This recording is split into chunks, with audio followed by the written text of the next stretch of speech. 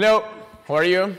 Um, as he was saying, I'm speaking about a token walks into a spa. It's not really like, a, it doesn't say much, the name, but the name that I actually wanted to put is this one. Learn how to create a small app with Angular 2 that contains authentication, multiple pages, and APIs to call a server. If I would have sent this title, this, this talk probably wouldn't have gotten accepted. So instead, this looks better, right? But this is what we're going to learn. So before starting, let me introduce myself. My name is Martin Gonto but everybody knows me by my Twitter handle, which is mgonto. If you want to follow me and increase my ego, it would be awesome. So I am a software developer from Buenos Aires, Argentina. You might notice from my accent that I'm not from here. And I work at a company that is called Auth0. Auth0 is basically a SaaS that helps you with authentication and authorization.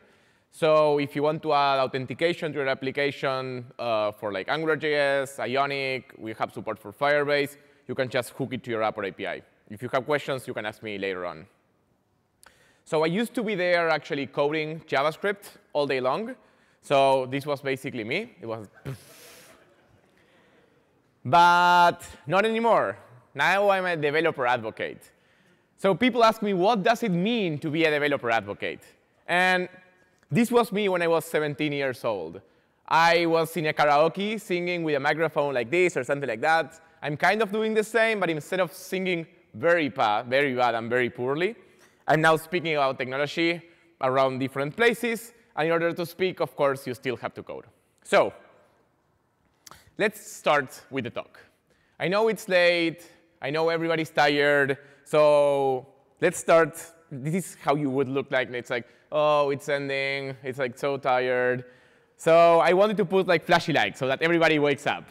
So you can see the flashy lights for like five seconds, and maybe you wake up. And also, I was planning on doing t-shirt time. So if you have seen Shai Reznik's talk at NGConf, throwing t-shirts is his idea. If you haven't seen it, it's my idea, of course. so let's try it out. Let's see if I can do it. I will have more because my throwing skills are not good. oh, I'm so good. Let me try one more. Maybe like smaller sizes fly further away. I don't know. I should have done like stats on this or something like that. I don't know. Well, it was better. I have more t-shirts, so if somebody wants some t-shirts after the talk, I brought like 40, so it should be enough. So now more flashy lights, because that's what we need to wake up. But now let's really start with the talk. So how does the web work right now? So most of the web is still like regular web apps. And what we have is basically a browser and a server. So whenever I actually want to do something, like for example, I bought this new MacBook that I just remember that I have to connect it because I don't have that much battery. So I will steal the plug from here.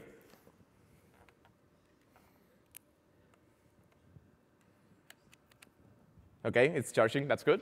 So now, continuing, we have the browser and the server. So when I'm using, I'm, I'm, I'm, for example, wanting to buy this computer. So what I do is I basically sit and try to log in. So I put my username and I put my password and just send it to the server. It will basically do a post.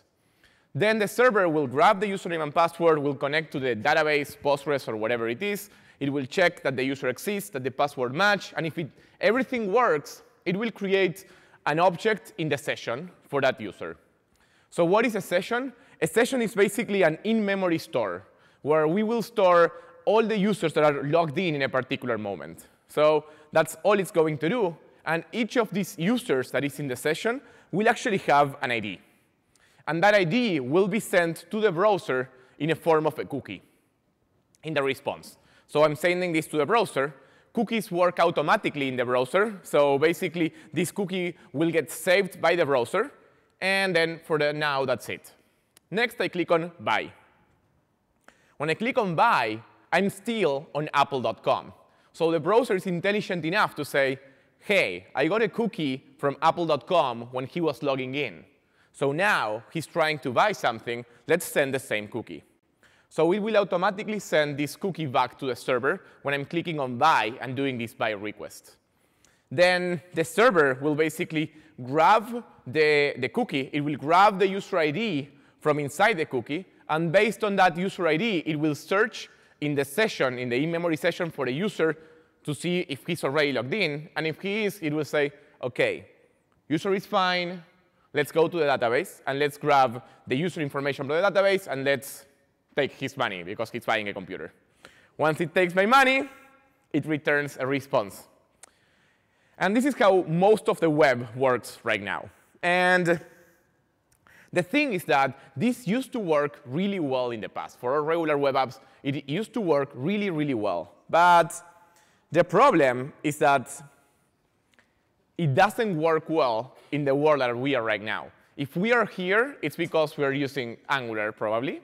And if you're using Angular, it means that we are creating single-page apps or mobile apps, and we're creating APIs. And the world has changed a lot since the time that cookies were created and since the time that cookies started to exist. So what are the problems that cookies have? So cookies don't play well with CORS. Hands up who has used cookies with CORS here? OK. So if you have used cookies with CORS when authenticating someone, you probably landed in the same Stack Overflow question than me, because everybody Googles about it. And the problem is that if you're using cookies and doing CORS, it doesn't work well. So what is CORS? I usually have my single page app deployed on foo.com, and then I have my API on bar.com. In order for my single page app to do a request to bar.com, I need to be able to say, OK, I'm doing a request from foo.com to bar.com. And for that, I need to specify some headers, the options method. And if I'm using cookies, I even have to specify more stuff. So cookies doesn't get along well with this CORS thing. The other thing is that cookies usually require stateful servers. So I was, I was saying that once you log in, we have this, in, this session, which is an in-memory store for users. So this in-memory store for users is adding state to HTTP. And HTTP is a stateless protocol. What does it mean to be stateless and state? And stateful, sorry. Stateless means that given a certain request, it will always return the same response. So there's like no side effect, nothing that will change, and it's much easier to test. If it, if it has stateful, it means that given a certain request, the outcome will, will change depending on that state.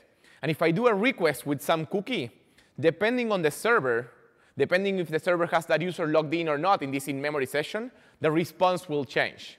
That makes debugging this much, much, much harder. And also another problem that this brings is like, imagine you have three different servers. So now I log into server number one. Server number one creates the user in the session in it, and then returns the response. And then when I click on buy, it goes to server number three. Server number three will check in its in-memory session store if it exists. And if the user doesn't exist there, it will say, no, the user is not logged in. You cannot buy it. So most, most people, what do to fix it is you have like a centralized store, which could be like a Redis or a MongoDB or something like that, where you have a, there saved the session for everything. Or you're using something that is called sticky sessions, which means that once the session was created, all the requests will go there. But those solutions are to fix a problem that shouldn't be there, which is adding state to something that should be stateless. And that's why APIs should be stateless. I mean, if you have used Facebook API, Twitter API, Google API, or any API, you will see that all of them are stateless. Because if it's stateless, it means that it's really easy to test, because given a request, the response is always the same. It's really easy to debug, and it's really easy to find problems. And it's really easy to have less problems as well. And the other thing is that cookies don't flow. So what does it mean? Lately, we're having more and more and more servers. So now I might have a single page app that calls a server number one, and then I need to call from server number one to the server number two. So that means that my authenticated request from the single page app needs to go through the server number one to the server number two. If I'm doing that, using cookies it's a pain in the ass. It's like really, really hard because the cookies authorization mechanism doesn't flow. It works well with Chrome because, or with any browser because it's integrated with that browser, the behavior. But if we're using an, H an, an HTTP API client in our server one, sending cookies there is much harder than doing another thing. So what I want to propose to you is a better approach, which is token-based authentication, specifically using JSON Web Tokens. So for this, let me show you what a JSON Web Token is. So if we go to jwt.io, and if internet works, ah, I'm doing ads for Hyatt now. so now, let me zoom a little bit. So this is a JSON Web Token, this on the left. So the JSON Web Token is similarly to any other token that already exists. It, it, I mean, if you see it, you say, yeah, it's like random numbers. But the nice thing about JSON Web Tokens is that that's not true. They are not random numbers. What you see on the right is exactly what is on the left. So this part of, uh, in blue here in the right is called the payload. In the payload, I can put whatever I want. I usually would put here the user information, like user ID or username or whatever information I need to get from the user. Also, if I write something here, like if I change John Doe to Martin Gonto, who's me, you will see that the token keeps on changing. And that proves that the token is based on the content that is on the payload. So why is it not the same? Because this blue part is actually a base64 URL encoded version of the payload in here. Then we have this green part. This green part is part of the spec. JSON Web Token is an IETF specification that just became final like two months ago or something like that. And people are now starting to use it. For example, Firebase, that they did a talk before, they are using JSON Web Tokens. And there are other companies starting to use JSON Web Tokens now. Part of this spec says that the header needs to specify first the type, which is JSON Web Token, and then an algorithm. This algorithm will be used to sign this JSON Web Token so that I know that the one who created this token can only verify this token again. So what does it mean? That, that this means that I'm getting the header first. I'm doing a base64 URL encoded of that. I'm joining that with a period with a payload base64 URL encoded. And then I'm running this HMAC 256 algorithm on all of this with a particular secret. Let's say that my secret is like um, Angular. So let's write it again. And now I have this token signed with Angular. And it says signature verified. So now let's refresh the page. Wow. Wi-Fi is not liking me. Yeah, maybe I can do shocks. OK, it loaded.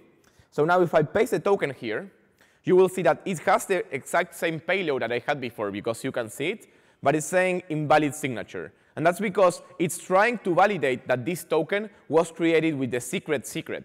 And that's not true. That's why it's not working. And this is what we can use in our servers to verify it. We'll see a little bit more about it in a second. But if I write here Angular, now it says signature verified, because this token was created with this Angular secret. So now that we understand what a JSON Web Token is, let's do this same approach of buying a computer with a JSON Web Token. And let's see how it works. So again, I'm sitting here, and I want to buy a Mac. So the first thing I do is I log in. So I send my username and password to the server. The server will now, again, go to the database, check that the username exists, check that the password match, blah, blah, blah, blah, blah, blah. But now, instead of actually creating a user object in the session, it is just going to create a JSON Web Token. So it's going to get the user information, and in the payload, it will put the user ID, username, user last name, and all of that information. And then it will just return that JSON Web Token to the browser. So this means that the server is not saving anything at all in there. It's not saving anything at all in memory. It's just creating this token and sending it to the browser. Now, the browser will save it in local storage. And when the user clicks on buy, it has to send this token again. So what it will do is it will send the JSON Web Token in the authorization header of the request. It will say authorization, bearer, and the token. Now, the server will check first that this token was created by it. How does it do it? Because this JSON Web Token was created with a particular secret that only this server knows. So it will check that this, this JSON Web Token was created with a secret that this server knows. If that's true, it will grab the payload, and it will already have the user information in there, and then just go get the user, take the money, and return a response. But the nice thing about it is, is that given a particular request, if it has a JSON Web Token, any of the five servers, six servers, 10 servers can actually check if the user is logged in correctly. I don't have, I don't need a central storage for these five servers to communicate. I don't need any, any particular way of synchronizing because this is stateless. Because the request has absolutely all the information that you need to log the user in.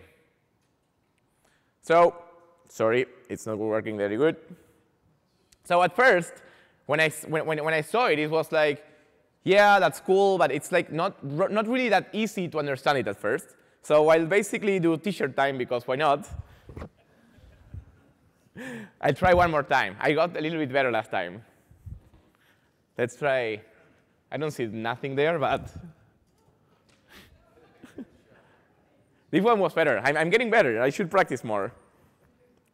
And basically, the idea is that now I will stop talking, and I will do a live demo of how you can bring your current Angular 2 application and actually implement this on it. So let's see it in action with Angular 2. Before actually doing it, I want to give you a warning, which is that Angular 2, I'm using the alpha 26. And when something has the word alpha, it means that something like this can happen, or something like this can happen as well. And if it is, I want you to pay attention and correct my mistakes, because I have a, a, disability, which is that I'm type of, I'm, I'm really typo friendly. I'm very good with typos. I always have them. So for me, sign up is like sing up. I don't know why. Maybe I want to sing. I don't know. So well, let's try it out. So let's actually kill this server, and let's start this server. First, let me show you what the app looks like right now. So this is the application it, does it see or I'll increase the, this is the application. Very nice UI, bootstrap. So it's saying, welcome to the Angular 2 authentication example. And it has three buttons, call anonymous API, call secure API, and logouts. So I need to start the server. Now, if I click on call anonymous API, every time that I click it, I will actually get a random Chuck Norris phrase. But I can only get 50 Chuck Norris phrase, because if I want the 50 others, I need to do a secured request. So now if I click on call secure API, it says an authorized error. No authorization header was found. And since we want 100 Chuck Norris phrases because 50 is not enough, we're actually going to implement it. So to start with it, we're going to start with a login. So let me actually show you the app. So this is the application. Let me increase the font size. 24? Is it okay, the size, or a little bit bigger? Bigger? Okay. 28? I like even numbers. Does it look better now?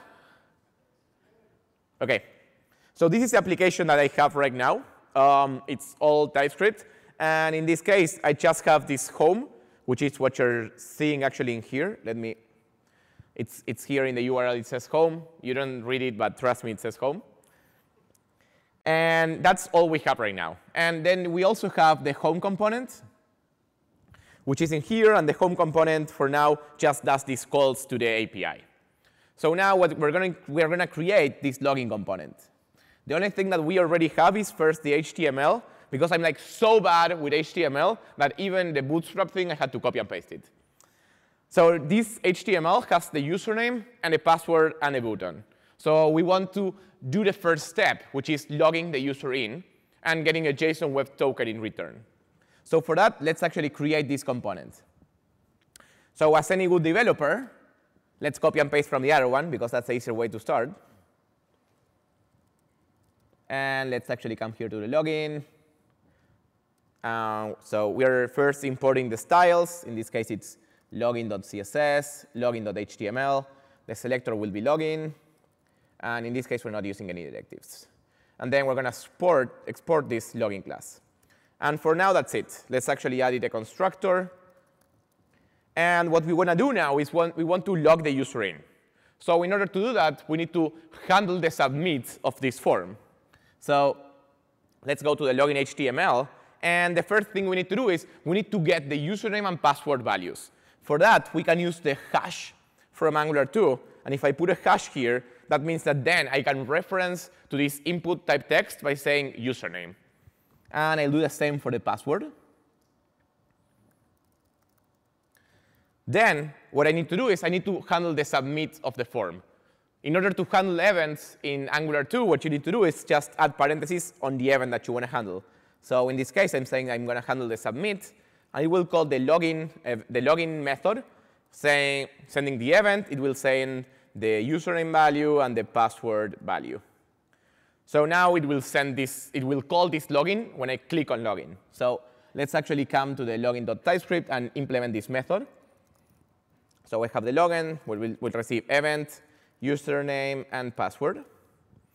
And now first, it's the event.prevent default because I don't want to submit the form.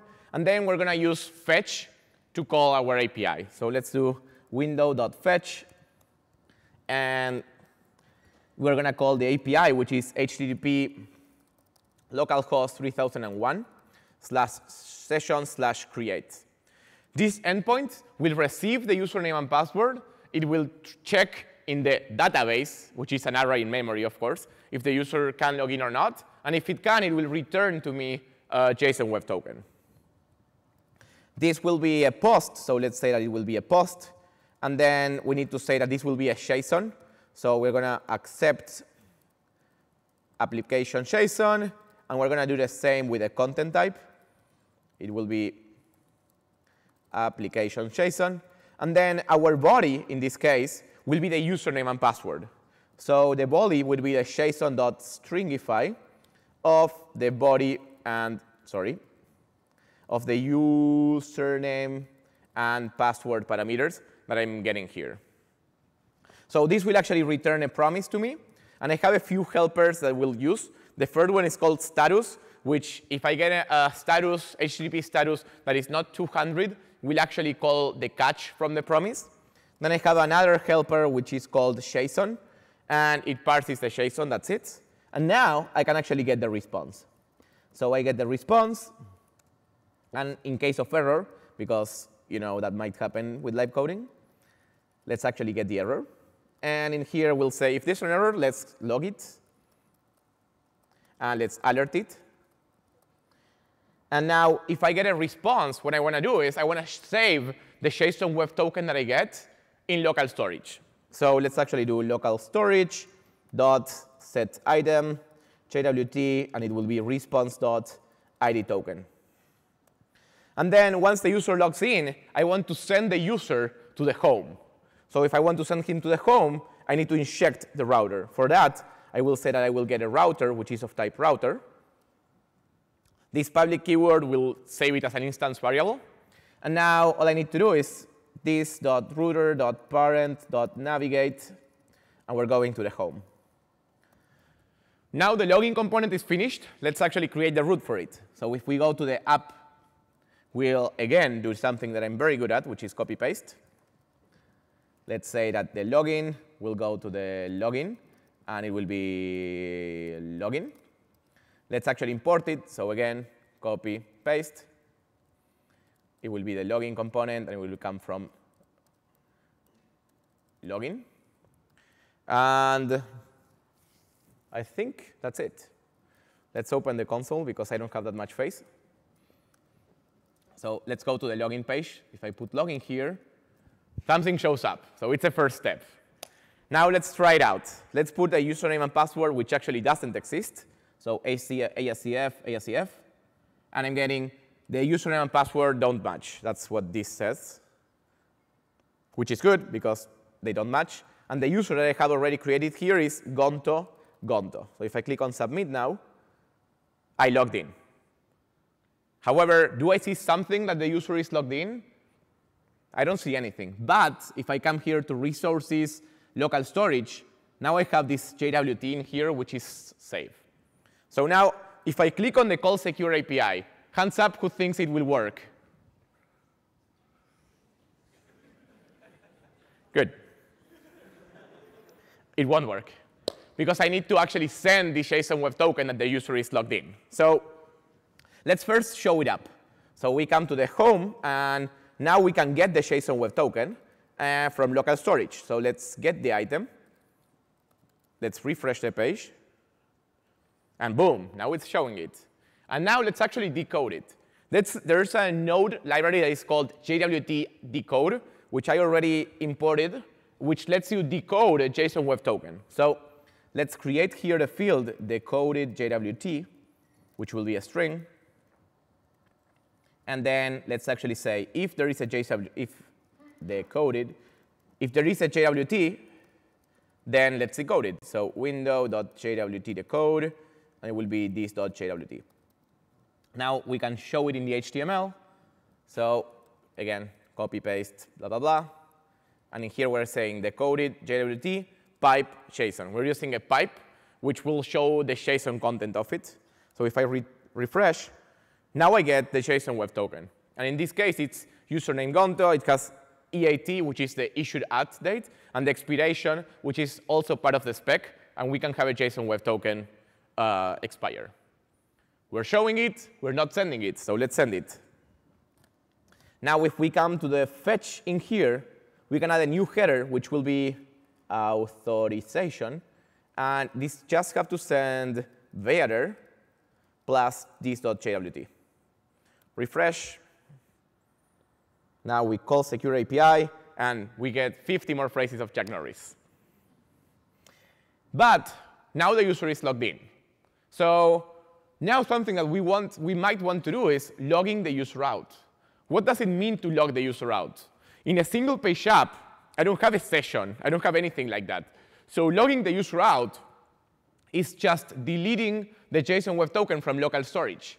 Because if the user doesn't have the JSON Web Token in local storage, it cannot call a secure API. If it cannot call a secure API, then he's logged out. So let's implement this logout like that. So if I come here, I see this button logout. Again, let's do this. The, let's handle the click event, and we'll say logout. So now we go to the home. Let's create this logout method. And let's say that the only thing it will do is it will just remove the item, JWT, and then it will redirect the user to the login page. Let's see if this works.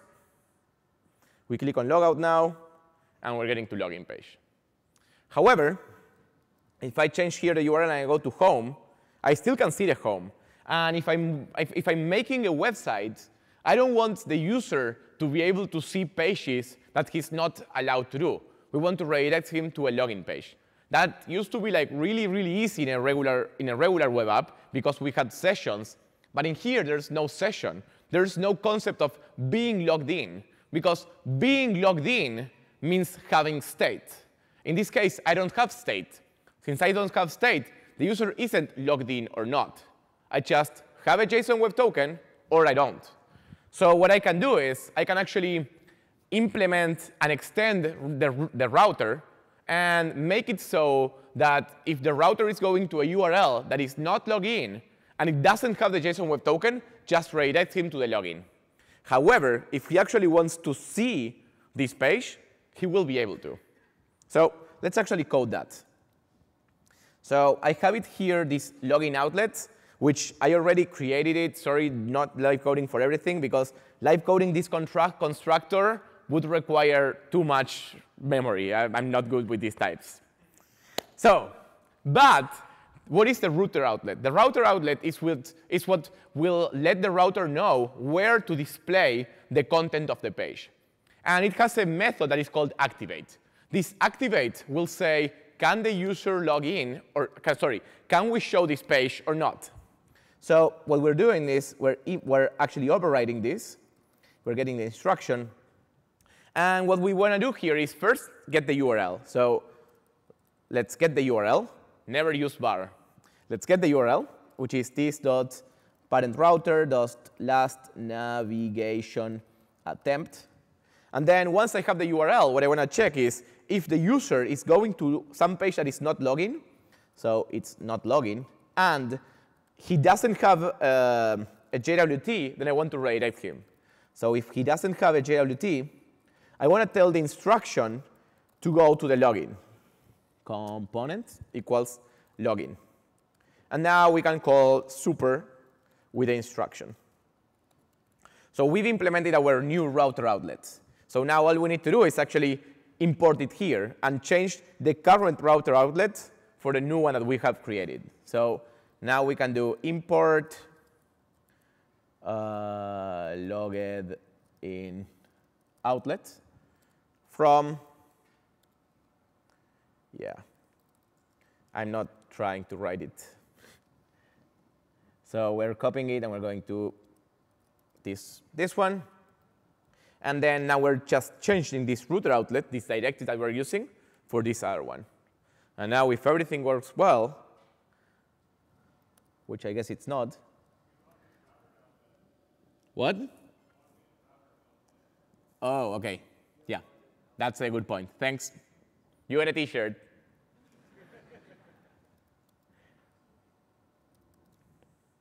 I almost got without any syntax error.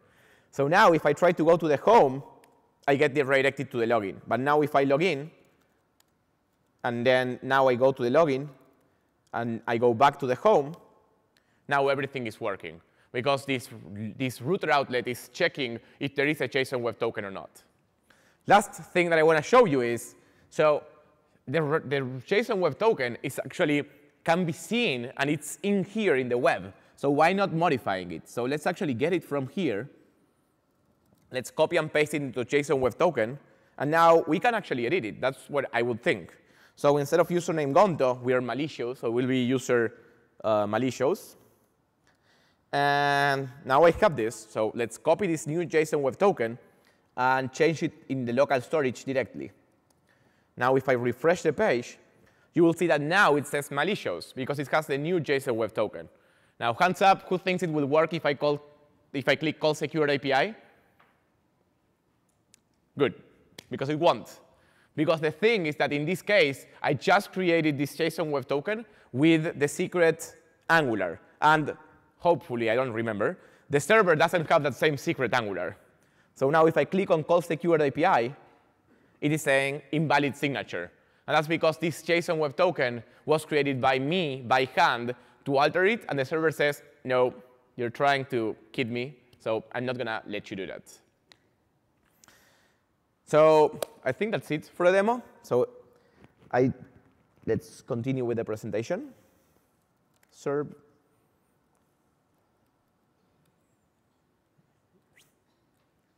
Wow.